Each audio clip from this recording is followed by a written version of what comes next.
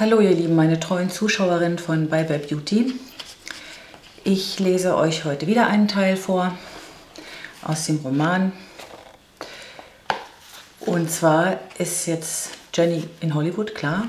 Und sie hat ja auch mit Vigo einen Abend verbracht und nun ist der nächste Tag und er, ja, also er hat sie abgeholt und sie fahren in sein Haus und was sie da so erlebt und was sie da so machen, das äh, ist ein bisschen romantisch. Das lese ich euch heute vor. Hollywood. Im Gegensatz zu den vielen großen Villen war Vigos Domizil eher bescheiden angelegt und passte zu ihm. Sie stiegen aus, Jenny nahm ihre Fotoausrüstung vom Rücksitz und lief hinter ihm her. Jetzt betrachtete sie sein Haus bewusster als am Tag ihrer Anreise. Hereinspaziert, my dear. Sie trat durch die lichtblaue klassizistische Flügeltür, betrachtete den dunklen Holzboden und die in weiß gestrichene Treppe mit dunklem Handlauf, die anscheinend in den Schlafbereich führte. Am Treppenaufgang hing ein neoexpressionistisches, großflächiges Gemälde. Total von der Rolle und überrascht fragte sie, ist das von Julian Schnabel? Und hoffte insgeheim, dass ihr Kennerblick sie nicht trügte. Ja, ich liebe seine Kunst. Also vor nicht allzu langer Zeit hatte er eine Ausstellung in Frankfurt und ehrlich gesagt, ich war hingerissen. Er ist neben Picasso und Tamara de Lempica mein absoluter Favorit, ein Genie. Das ist er in der Tat. Ich kenne ihn ganz gut. Hm, da war er wieder, der Moment. Klar, dass Vigo ihn kannte. Möchtest du mir jetzt alles zeigen? fragte sie nun doch etwas eingeschüchtert. Na dann komm mal mit, sagte er einladend und Jenny folgte ihm.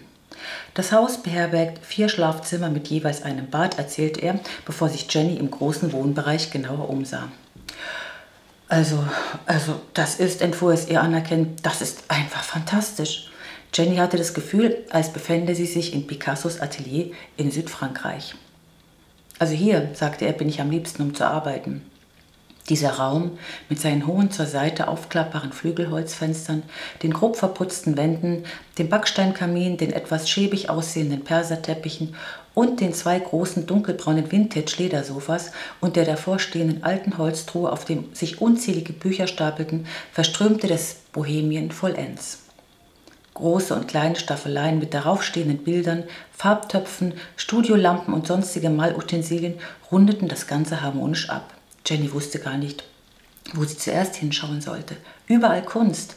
Auf kleinen Tischen standen Skulpturen und Krüge mit Pinseln, wild durcheinander. Auf Stühlen und Hockern befanden sich Teller mit Farbklecksen und überall Bilder, Bilder an den Wänden, hängend oder einfach nur so dahingestellt. Sag mal, Vigo, bist du sicher, dass ich hier im richtigen Haus bin? fragte sie. Er musste lachen. Ja, das bist du. In meiner Freizeit male ich gern und lasse auch alles so rumliegen. Mein kreatives Chaos, wenn du so willst ohne das ich nicht leben kann. Verstehe, sagte Jenny Kleinlaut. Sie war völlig hingerissen von diesem Mann, der sich als Maler und Kunstliebhaber entpuppte. In diesem Raum hatte er alle Fundstücke zusammengetragen, die er liebte. Ach übrigens, ja, Jenny drehte sich direkt zu ihm hin. Kerzengedöns und so Räucherstäbchen. Das wirst du hier nicht finden. Nein, hinterfragte sie, gespannt, was er darauf antworten würde. Also, weißt du, bei zu viel Romantik renne ich schreiend davon. Du verstehst schon, ne? Also, wenn ich es mir richtig überlege, passt das auch gar nicht zu dir. Der Kamin ist Romantik genug. Also, bevor du jetzt anfängst, lass uns einen Espresso trinken, ja? Beide gingen in die Küche und doch hier staunte Jenny nicht schlecht. Der absolute Blickfang bildete die mexikanisch-grüne Wandfarbe, an der zwei rustikale Holzbretter befestigt waren. Darauf standen Gläser, Flaschen und Tonschalen. Die Wand hinter dem großen altmodisch aussehenden, aber doch modernen Gasherd war in schwarz-weiß gefliest und erinnerte Jenny an ihren Küchenboden in Berlin. Sie musste schmunzeln. Es gab anscheinend neben der Malerei noch andere Parallelen zwischen ihnen. Was ist denn? fragte er amüsiert. Weißt du, Vico, begann sie, das ist alles so schön und mir geht ehrlich gesagt das Herz auf. Das freut mich. Ich hoffe, oder ehrlich gesagt, ich hoffte, dass dir mein Geschmack gefällt und du nicht die protzige Hollywood-Villa erwartet hast. Nein, eigentlich hatte ich gar nichts erwartet. Ich wollte mich überraschen lassen, aber das hier, und dabei machte sie so eine Rundumgeste, also ich würde dein Haus sofort mieten. Jenny, du kannst bleiben. Er machte eine kleine Pause, das weißt du. Jenny nickte und setzte sich an den Küchentisch, auf einen der abgerockten, barocken gepolsterten Holzstühle im Lö des 16. Stil. Mit der Hand strich sie gedankenverloren über die Tischplatte hinweg. Ach übrigens, diese Marmortischplatte, ja, die hat auch ein Vorleben. Jenny sah ihn fragend an. Ja, sie diente als Terrassenboden im Museum of Modern Art in New York. Echt jetzt? Naja, ich will ja nicht angeben. Dachte nur, dass diese Information sich für deine Recherche äh, ganz nützlich erweisen könnte. Na und ob? Naja, und das rustikale Spülbecken ist aus Neuengland. Ich sehe schon. Dein Sinn für Interieurdesign ist wie das Komponieren einer Sinfonie von Sinneseindrücken, die Farbauswahl inklusive. Das ist ein sehr schönes Kompliment, danke. Weißt du, Jenny, ich umgebe mich gerne mit Dingen, die eine Geschichte haben. Jenny sah auf dem Herd eine Espresso-Kanne stehen. Hey, platzte es spontan aus ihr heraus, du hast ja auch so ein altmodisches Teil. Hm, ich mag wie du das Beständige und folge nie etwas anderem als meinem eigenen Instinkt. Mitunter gerate ich in Versuchung, aber dann denke ich mir, mm -mm, back to the roots. Ich sage nur Handarbeit. Espresso kommt sofort. Jenny sah ihm dabei zu und durch die geöffneten Fenster wehte warme Luft aus dem Garten in die Küche hinein. Du Vigo, er sah sie bedeutungsvoll an.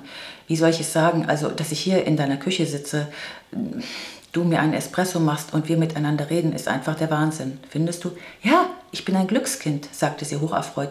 Na, dann komm mal, du Glückskind, forderte er sie auf und balancierte die Espressotassen noch nach draußen. Sie setzten sich beide an einen langen Tisch, der den Mittelpunkt des einliegenden Patios bildete. Die verwitterten Gartenstühle mit dick gepolsterten, naturfarbenen Kissen luden zum Verweilen ein.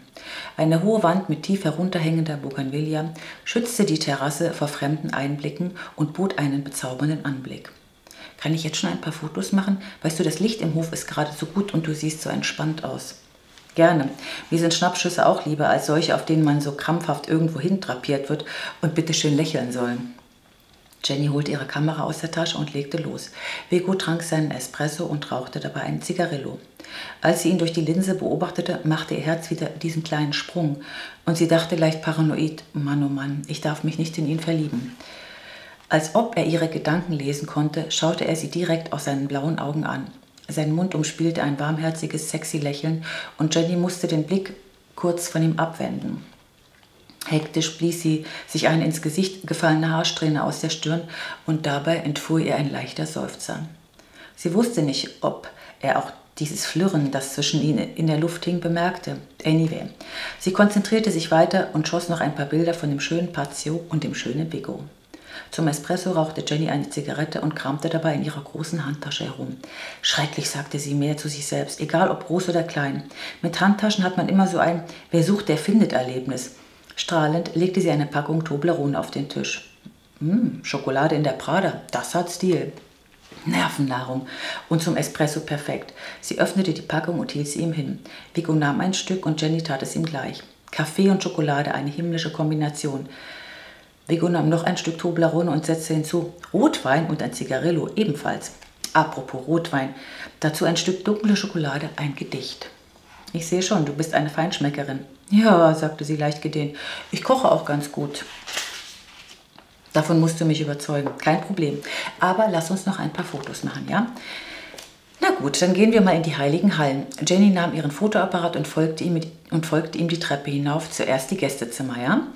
Sie betraten gemeinsam den ersten Raum. Die hellblauen Wände, das aus Holz geschnitzte Betthaupt mit blau-goldenen Verzierungen sowie der opulente Bettüberwurf und die schweren granatroten Vorhänge ließen sie kurz nach Luft schnappen. Also, das hätte ich jetzt nicht erwartet, sagte sie überrascht und begutachtete noch die hübsche Frisierkommode. Spanisch inspiriert, sagte er knapp. Aber die Bilder sind surreal. Ich mag Stilbrüche. Na, ich auch. Aber es sieht, sorry, sehr weiblich aus. In diesem Zimmer dürfen nur Frauen schlafen. Oh, verstehe. Vigo versuchte charmant zu erklären, dass in diesem Zimmer nur besondere weibliche Gäste schlafen dürften und Jenny machte sich daraufhin so ihre Gedanken. Irgendwie bemerkte er ihren Stimmungsknick, obwohl das eigentlich Blödsinn war, sie war nicht geknickt. Jedenfalls beendete er die etwas peinliche Situation, indem er sagte, hier solltest du eigentlich schlafen. Oh, sagte sie schon wieder. Naja, also das ist eine Überlegung wert. Dieses Zimmer ist wirklich sehr schön und das Bad ist auch hier keine Spur von minimalistischem Einrichtungsstil. Hier herrschte Vintage mit Liebe zum Detail. Die freistehende Badewanne unter einem Baldachin, der üppig dekorierte Waschtisch mit Flakons, Handspiegel und richtiger Seife, der wunderschöne ovale Badezimmerspiegel in zartem Beige und nicht zuletzt die absolut authentischen Armaturen machten aus diesem Bad ein Traumbad. Beim Anblick des flauschigen Teppichs auf dem alten Dielenholzboden und dem in einem Puderton überzogenen Sessel konnte Jenny nicht mehr an sich halten. Vigo, das ist kein Bad. Nein, amüsierte er sich. Nein, das ist vielmehr ein Ort zum Träumen und Verweilen und das für Stunden. Sie setzte sich in den Sessel. Ach, weißt du, ich dachte beim Einrichten an den Stil der 40er Jahre. Du weißt schon die Zeiten von Swing, Casablanca und Rebecca. Jenny horchte auf und musste an Joan denken. Sie sagte, und du willst mir erzählen, dass du keine romantische Ader hast? er erzählte sich ein wenig. Naja, für andere irgendwie schon. Auf jeden Fall für meine Gäste. Die sollen sich ja wohlfühlen. Es versetzte ihr einen kleinen Stich, da sie automatisch an die weiblichen Überraschungsgäste dachte und stand schnell wieder auf. Also die anderen beiden Gästezimmer sind wirklich puristisch eingerichtet. Männern kann man ja so viel Romantik gar nicht zumuten. Also du meinst den Minimal Schick. Ein Bett, ein Schrank, eine dekorative Lampe. Ja, unter dem Motto weniger ist mehr. Jenny schaute sich um. Die Naturfarben waren dezent ausgewählt, ein schlichtes Bett bildete das Zentrum eines jeden Raumes. Als Nachttische dienten simple Holzhocker. Die wenigen Accessoires waren sorgfältig ausgewählt und platziert. Hier zählte Individualität und Charakter. Dinge wie seine Bilder, die man immer wieder anschauen konnte und die den überreizten Sinnen gut taten. Die weichen Stoffe, die edle Bettwäsche und der hochflorige Teppich sorgten für eine sinnliche Wärme. Mm. Diese sparsame Einrichtung erzielt eine ausgesprochen extravagante Wirkung. Genau, das war ja der Sinn. Ich wollte für meine Gäste eine überschaubare Wohnwelt erschaffen, die beruhigend wirkt. Dem konnte Jenny nur beipflichten. Und nun, er schaute sie kurz an, mein Master Bedroom. Das war wirklich alles sehr intim und sie war ihm unendlich dankbar, dass er ihr Einblicke in seine Privatsphäre gewährte. Er öffnete eine Tür und Jenny trat in sein Heiligstes hinein. Mit einem kurzen Rundumblick nahm sie alles in sich auf. Dielenboden, ein großes, stabiles King-Size-Bett, schiefergraue Bettwäsche, Holzbalken, unkonventionelle Nachttische in Form von Holzblöcken, ein Schnäbelgemälde, ein Flatscreen und dann sah Jenny noch etwas. Das Bild, welches sie ihm geschenkt hatte, stand direkt gegenüber vom Bett. Das hatte ich ja ganz vergessen, rief sie hocherfreut. Und du hast es hier aufgestellt? Hm, so habe ich dich immer in meinem Schlafzimmer, sagte er, so als wäre sie ein Teil seines Lebens. Wohingegen Jenny bei dieser Bemerkung leicht nervös wurde. Und ein Fernseher, rief sie ablenkend. Hm, ich finde, Fernsehen macht eigentlich dumm. Ich gucke hier nur Filme. Nur im Bett, hakte Jenny nach. Hm, nur im Bett. Er ist anders, dachte sie, definitiv anders als diese typischen Hollywood-Promis. Er malt und ist ein begnadeter Schauspieler mit dem Quäntchen Extremismus. Einen Bodyguard hatte er anscheinend auch nicht. Jenny lugte noch schnell in sein Badezimmer hinein. Auch hier ließen die einfachen Formen und die sachliche Gestaltung seine Neigung zum Minimalismus erkennen. Eine gemauerte Dusche, eine Badewanne, das Waschbecken aus irgendeinem Naturstein, welches auf einem rustikalen Holzelement montiert war. Die weißen Handtücher, ein Holzstuhl, ein simpler Spiegel und natürlich ein Gemälde. Hast du auch ein Ankleidezimmer? Naja, ist eher so eine Kammer. Das reicht für mich. Willst du die auch sehen? Gerne.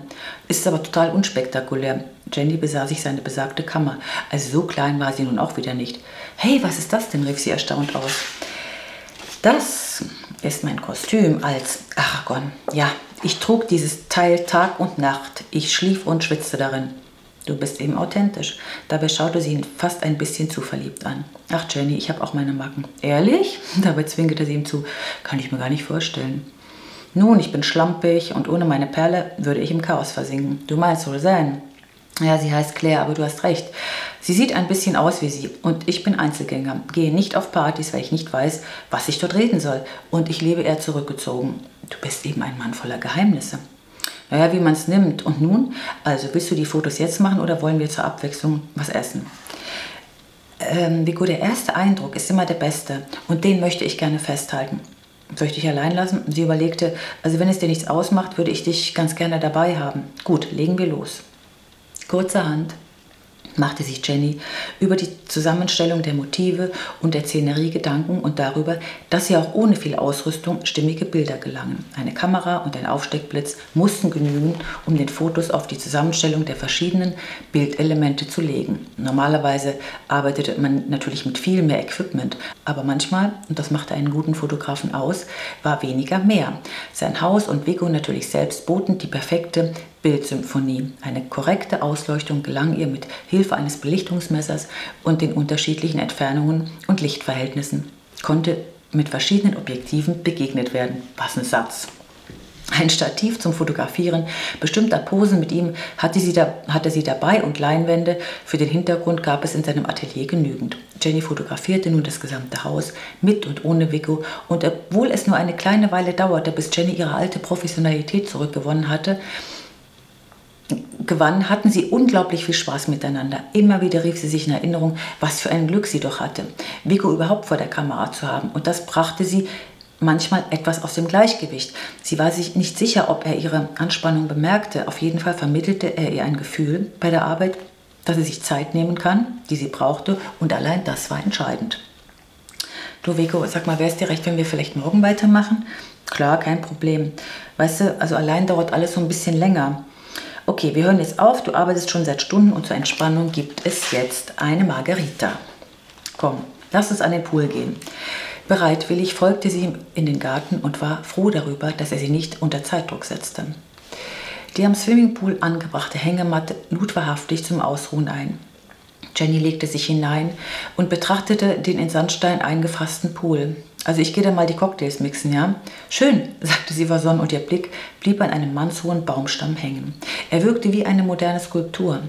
Der von Bananenstauden und Palmen umgebene, wunderschön gemauerte Wohn- und Essbereich im Freien mit seinem Dach aus getrockneten Palmenblättern bot Schatten und Schutz vor der heißen Sonne Kaliforniens. Bego kam mit zwei großen Margaritas zurück. Jenny erhob sie etwas kompliziert aus der Hängematte und hoffte, dass diese Aktion nicht allzu unbeholfen aussah. Immerhin war das gar nicht so einfach, wenn man dabei noch beobachtet wurde. Jetzt lach nicht, rief sie ihm scherzhaft zu. Das ist alles reine Übungssache. Auf dicken Matratzen im Freiluftsalon, herumlümmelnd, tranken sie ihre Margaritas und Jenny schaute verzückt auf den Deckenventilator. Ich danke dir von Herzen, sagte sie. Nicht doch. Übrigens, meine Freunde nennen mich einfach nur Weg. Okay, Weg, prostete sie ihm zu. Dann legte sich eine geheimnisvolle Stille über die beiden.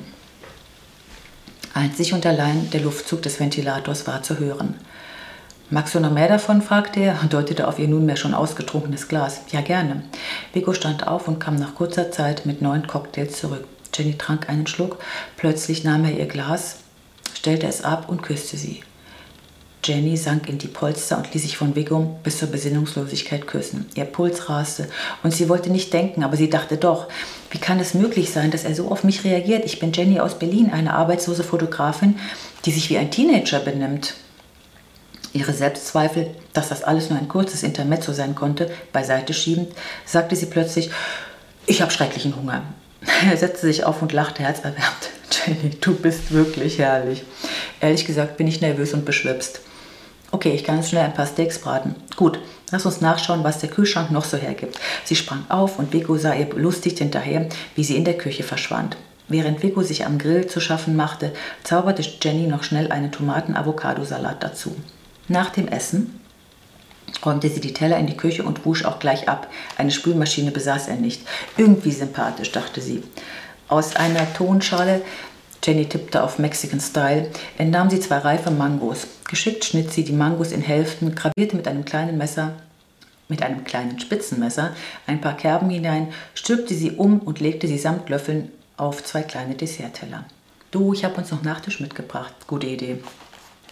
Aber auch eine etwas klebrige, sagte Jenny, während sie das Fruchtfleisch genüsslich in den Mund schob. Die Mango ist bei den Hindus eine Götterfrucht. Aha, dabei leckte sie mit der Zunge über ihre Lippen. Noch heute wird sie als Opfergabe wegen ihrer göttlichen Süße dargeboten. Also wir essen jetzt eine Götterspeise. Also wenn du so willst. Ja, komm Jenny, gib mir einen göttlichen Kuss. Sie küssten sich mit klebrig süßen Lippen und konnten nicht voneinander lassen. Sie befanden sich im Rausch der Sinne und sagten nichts. Einzig und allein ihre Blicke ließen sie immer und immer wieder einander küssen. Jenny hatte schon jahrelang nicht mehr so geküsst und fragte sich, warum man als Paar irgendwann damit aufhörte. Sie fand darauf keine Antwort. Weit nach Mitternacht sagte Jenny leise, ich müsste dann mal ins Hotel zurück. Verdutzt sah er sie an. Äh, naja, also, was ist? fragte sie leise. Na, ich sag doch, du bist eine Komikerin. Er stand auf, willst du nicht doch bleiben? Eigentlich schon, aber kein Aber. Also, ich sollte meine Aura des Mysteriösen irgendwie schon aufrechterhalten, zielte sie sich und machte dabei diese Schnute. Mhm, das ist ein Argument. Und nun? Verdammt, dachte Jenny, ich habe eine Affäre mit einem Traummann. Was soll's? Was wäre das Leben ohne Liebe? In meinem Kopf läuft ein Film ab, sagte er plötzlich. Und du bist der Star, Jenny. Diese Worte brachen sie nun völlig aus dem Gleichgewicht. Und für diese Leidenschaft warf Jenny sämtliche Verantwortung für sich selbst über Bord und blieb bei ihm. Am Morgen sah sie als allererstes in seine Augen. Wie lange siehst du mich schon so an? Lange genug, sagte er mit so viel Zärtlichkeit in der Stimme, dass Jenny wieder ganz heiß wurde. Sie rappelte sich auf und wollte aufstehen. Weg hielt sie zurück. Mm, du, ich gehe mir nur schnell die Zähne putzen. Oh nein, erst ein Kuss. Sie gab ihm einen leichten Kuss. Hast du eine Zahnbürste für mich? Ja, habe ich dir schon hingelegt. Mit einem Luftkuss verschwand sie im Bad. Der Blick in den Spiegel erfreute Jenny immens. Strahlende Augen, strahlender Teint, gut durchblutete Lippen. Sie zwinkerte sich kurz zu und sagte laut Botschaft für heute, der Tag danach. Sie fühlte sich voller Energie, dynamisch und jung. Unter der Dusche prasselte das Wasser auf ihren Körper herab und sie dachte, dass sie heute noch ein paar Fotos schießen würde und dann müsste sie wirklich ins Hotel zurück. Vielleicht hätte Vicky in den nächsten Tagen Zeit für sie beide und wenn nicht, könnte sie trotzdem noch ein paar Tage hier in LA bleiben. Das Wetter war traumhaft und sie war noch nicht bereit, sich ihrer Ehemisere zu stellen. Vielleicht kam es ihr in den Sinn, könnten Tom und sie wirklich Freunde werden. Doch bevor es zu kompliziert wurde, hielt sie das Gedankenkarussell an und trocknete sich ab. Im Schlafzimmer zog sie das Hippiekleid über und ging barfuß hinunter in die Küche. Hm, wie das duftet, rief sie freudig erregt. Also ich dachte, ein gutes Frühstück nach dieser Nacht. Er zwinkerte ihr dabei zu. Deshalb gibt es Eier mit Speck. Und du? Ja, also du siehst heute Morgen besonders schön aus. Das macht der Sex? Purzelten die Worte aus ihr hervor und sie erschrak sofort. Großer Gott, was rede ich denn da? Vigo sah sie beglückt an. Ich liebe es, wie du sprichst. Also mein holpriges Englisch und der Akzent, ja, das ist total süß, so wie du das alles so umschreibst, wenn dir die Worte fehlen. Jenny machte so eine, naja, dann ist ja alles gut, Geste und fragte, gibt's auch Kaffee? Machst du den? Ich will genauso einen haben wie in Berlin. Jenny freute sich, dass sie auch etwas tun konnte und sagte geschäftig, kriegst du. Mit ganz viel Liebe, bitte. Innehaltend fasste sie all ihren Mut zusammen. Sag mal, Vic, was wird das hier?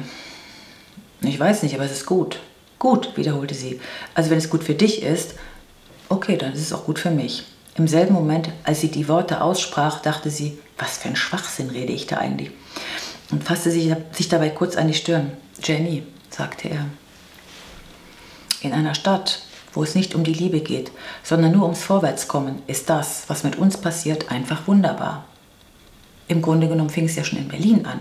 Richtig. Und du bist zu mir gekommen. Hierher, in diese verrückte Stadt, wo es Leuten wie mir unmöglich ist, eine normale Frau kennenzulernen. Normale Frau? hinterfragte sie schon etwas erstaunt. Also, verstehe mich bitte nicht falsch. Ich meine, man ist umringt von Menschen, die alle irgendwas von einem wollen. Naja, ich wollte ja eigentlich auch was. Das ist was anderes. Außerdem habe ich dir das angeboten. Ich will damit sagen, wie froh ich darüber bin, dass du in meine Arme gefallen bist. Du meinst wohl eher, dir vor die Füße gefallen.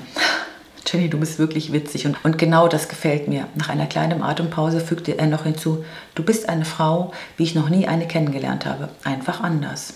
Jenny freute sich über seine Worte und doch sagte sie, jetzt mal ganz ernsthaft weg, du kannst jede haben. Will ich aber nicht. Ich will kein Model und muss meinem Alter auch keine junge Frau entgegensetzen. Ich möchte mich unterhalten können. Er nahm sie in die Arme. Jenny, ich will eine richtige Frau und kein Botox-Junkie. Also hier in Hollywood müssen Frauen eben all diese verrückten Sachen an sich machen lassen, um bei den Männern oder Filmbossen überhaupt noch anzukommen. Also ich kann mir vorstellen, dass dieser Wettlauf gegen die Zeit wahnsinnig anstrengend ist. Und noch etwas. Ich war ja auch schon auf dem Trip, ne, wie du weißt. Jetzt fang bloß nicht damit an, Jenny. Das hast du absolut nicht nötig. Apropos nötig, lenkte Jenny geschickt das Gespräch in eine andere Richtung. Ich müsste noch ein paar Fotos machen und dann zurück ins Hotel. Fragend hob er eine Augenbraue, um deine Sachen zu holen. Sie überlegte, also, also, wenn ich hier bei dir wohne, ist das, ist das was? Na, ich weiß nicht so recht. Das ist dann so ein, so ein Verliebtheitsding. Nette Umschreibung. Bist du nicht ein klein wenig verliebt in mich?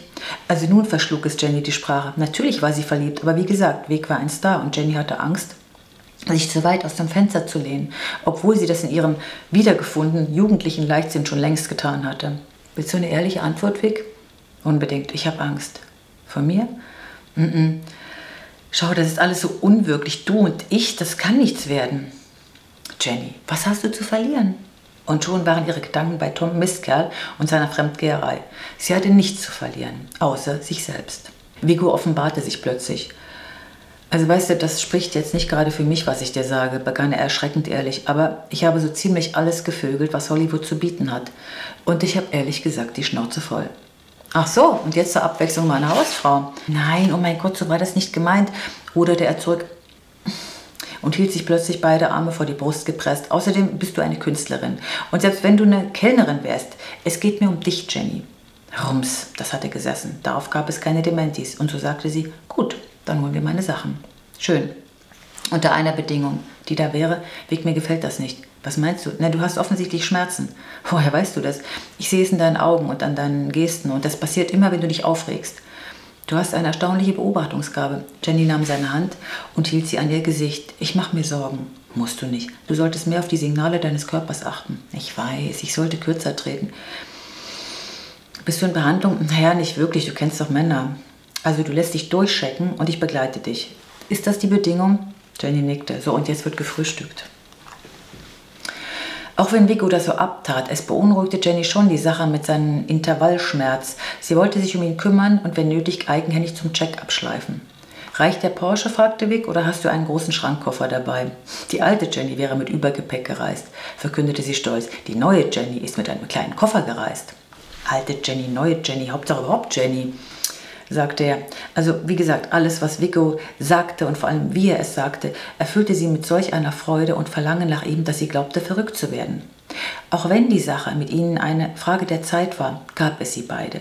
Richtig und wahrhaftig stand er vor ihr und sah sie an. Ja, wie eigentlich? Er sah sie an, als gäbe es nichts Schöneres als sie auf der Welt, und Jenny schmiegte sich voller Zärtlichkeit in seine Arme hinein. Der Porsche ist groß genug, flüsterte sie. Langsam fuhren sie durch Beverly Hills und plötzlich rief Jenny hocherfreut: Halt bitte mal an! Er bremste. Was ist? Jenny zeigte auf einen pinkfarbenen Rollator. Da! rief sie aufgeregt und zeigte mit dem Finger in Richtung Pink Lady. Meinst du Joan? Erkennst du die? Vic lächelte. Aber natürlich, Joan ist Hollywood. Eine Legende. Jeder kennt sie. Mit dem Kopf nickend pflichtete sie ihm bei. Klar, ihr seid alle bestimmt eine große, nette Familie. Nein, ganz so ist es nicht. Zu viel Neid, aber Joan ist etwas Besonderes. Ich liebe sie. Übrigens, ich habe sie auch schon kennengelernt.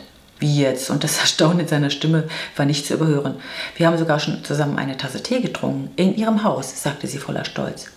Also, Jenny, ich muss schon sagen, was? Also, dir wohnt ein Zauber inne, der anscheinend nicht nur mich beeindruckt hat. Geschmeichelt über seine Worte, redete sie aufgeregt weiter, dass Joan sie nach dem Weg gefragt hatte, als sie hier alleine mit ihrem Rollkoffer unterwegs war, nachdem sie aus seinem Haus geflüchtet war. Und du konntest ihr weiterhelfen? Naja, ich hatte den, den Stadtplan von L.A. dabei. Du bist so süß. Naja, und dann habe ich mich hinten auf ihren Rollator gestellt und wir sind losgedüst. Jenny, ich finde, dabei macht er eine kleine Pause. Du findest was. Also ich finde, du passt total nach Hollywood. Du solltest hier bleiben. Ja, ja, mach dich nur lustig über mich. Komm, fahr weiter. Als sie Joan erreichten, hielt Vic an und rief, Hi Joan, wie geht's dir heute? Ach, Vic, wie immer. Dann hielt sie kurz inne und sah erstaunt auf Jenny, bevor sie weitersprach. Hi Jenny, das ist ja eine Überraschung. So schnell sieht man sich wieder. Höflich wie Jenny war, stieg sie aus dem Wagen und drückte zur Begrüßung ihre Hand. Ein leises Lächeln huschte über Joans Gesicht. Ist das der Mann, aus dessen Haus du geflüchtet bist? Jenny nickte und lächelte dabei wie ein Kind. Joan hielt ihre Hand immer noch fest. Also der ist wirklich ein toller Kerl. Das kannst du mir glauben. Ich kenne mich mit Männern aus. Unterdessen beobachtete Vigo die beiden Damen und rief amüsiert, hey, was flüstert ihr denn da? Redet ihr über mich? Also, Männer können alles essen, müssen aber nicht alles wissen, gab Joan zur Antwort. Und Vigo sagte, das ist unsere Joan, so wie ich sie liebe. Hast du nicht Lust auf eine kleine Spritztour? Wie in deinem Porsche? Na klar, also mein Lieber, dafür bin ich zu alt, um in deinem offenen Sportwagen durch Hollywood zu fahren. Jetzt mischte sich Jenny ein. Unsinn. Sie setzten sich neben Vigo und ich quetsche mich hinten hinein. Und mein Gefährt, also den Rollator bringen wir zu dir nach Hause. Und meine Föhnfrisur, sie lachte dabei so charmant und hielt die Hände schützend an ihren Kopf gepresst. Ein Tuch und eine Sonnenbrille und schon ist die Sache geritzt, half Jenny weiter. John überlegte und sagte schließlich, na, ihr seid mir vielleicht zwei, überfallt mich auf der Straße und wollt mich verschleppen. Komm schon, drängte Vic weiter. Wann warst du das letzte Mal raus aus Beverly Hills? Da sie nicht darauf antwortete, hakte Vic weiter nach. Siehst du, dir fällt es nicht mal mehr ein. Daraus schließe ich, dass es eine Ewigkeit her sein muss. Erwischt, sagte John nun doch vergnügt. Gut, machen wir eine kleine Spritztour. Weg half ihr in den Wagen hinein, hiefte den Rollator auf den Rücksitz, lief noch einmal um sein Auto herum und blieb vor Jenny stehen. Bin gleich wieder da und hol dich ab, Schönste. Der Porsche ist eben doch keine Familienkutsche. Das war jetzt ein kleiner Einstieg in sein Haus und äh, dass sie sich also ein bisschen näher gekommen sind, so ein bisschen, also liebevoll näher gekommen sind. Und nun geht es rasant weiter.